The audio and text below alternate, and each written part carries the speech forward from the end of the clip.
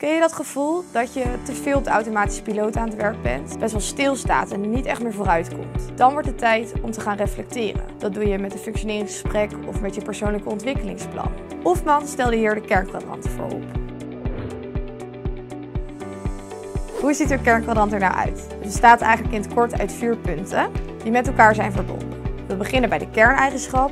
Vervolgens leidt dat tot een valkuil. Daar zit een uitdaging in en daar zit ook weer je allergie in, die dan weer verbonden is aan je kerneigenschap. We beginnen dus met de kernkwaliteit. Kernkwaliteit is de kwaliteit die jou jou maakt, of de positieve eigenschap die je vaak hoort van je vrienden.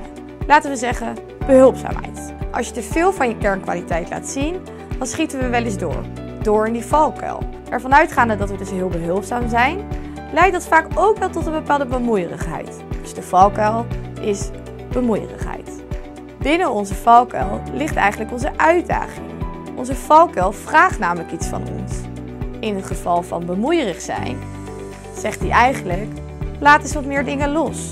Laat het eens aan anderen over. Dus je uitdaging is loslaten. Dan komen we aan bij je allergie. En dat is eigenlijk het doorschieten van die uitdaging. Dus mensen die heel erg loslaten, die vinden we vaak onverschillig. En laat je daar nou net een hekel aan hebben. En onverschilligheid is eigenlijk het positief tegenovergestelde van die kernkwaliteit, behulpzaamheid. En dat maakt dus het kernkwadrant rond. Het is dus helder dat bijvoorbeeld mijn kwaliteit dus behulpzaamheid is. En dat ik af en toe te bemoeierig ben, meer dingen moet loslaten. En mensen die erg onverschillig zijn irritant vind. Maar wat kan ik daar nou mee? Biedt eigenlijk perspectief om te gaan reflecteren op mijn kernkwaliteit. In welke mate ben ik die op dit moment nu aan het benutten? Op een schaal van 1 tot 10. En als het een 8 is, waarom is het dan geen 9? Daarnaast heb ik dus ook een beeld van mijn uitdaging, namelijk loslaten. In hoeverre ben ik daar nou mee bezig? Of in hoeverre ben, sta ik daarbij stil, dat ik dat ook echt aan het doen ben? Op die manier zijn we dus aan het reflecteren. Daarnaast kan het ook inzicht en houvast geven binnen je team.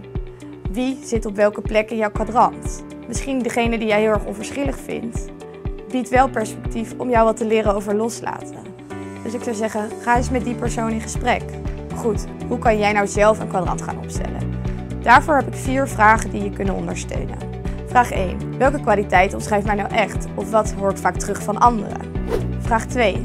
Welke feedback of welk verwijt krijg ik wel eens van anderen? Vraag 3. Wat van een ander zou ik soms ook graag willen? En vraag 4. Welk gedrag van een ander irriteert mij nou echt?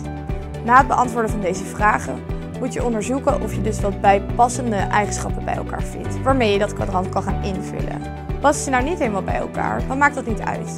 Per persoon hebben we 2 tot 3 kerneigenschappen, dus dat betekent dat je ook 2 tot 3 kernkwadranten kan gaan maken. Het belangrijkste van deze kernkwadranten is dat ze echt bij jou passen. Misschien herken je je in mijn voorbeeld over behulpzaamheid, maar is bij jou meegaand zijn veel passender. Zorg er echt voor dat de kernkwadranten bij jou horen, want alleen op die manier ga je er waarschijnlijk mee aan de slag. Deze kerkkwadranten kunnen er dus voor zorgen dat jij weer positief en effectief aan het werk gaat. Ik wens je heel veel plezier en inzichten met deze kernkwadranten en ik ben heel erg benieuwd wat er bij jou uitkomt.